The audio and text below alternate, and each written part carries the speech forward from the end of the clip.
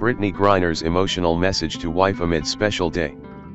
Phoenix Mercury star Brittney Griner shared an emotional and sweet message for her wife Cherelle as the partners celebrated their sixth anniversary. On Thursday Griner took to Instagram to celebrate Cherelle her partner in life and now in the beautiful journey of parenthood. The couple who tied the knot in June 2019 eagerly awaits their first child's arrival. Griner showed her appreciation for her wife who supported her even from afar during the lowest moments of her life when she was imprisoned in Russia.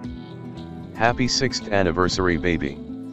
There is no person that I would want to spend my life with than you. You're my lifeline in this world. I can't believe six years have passed.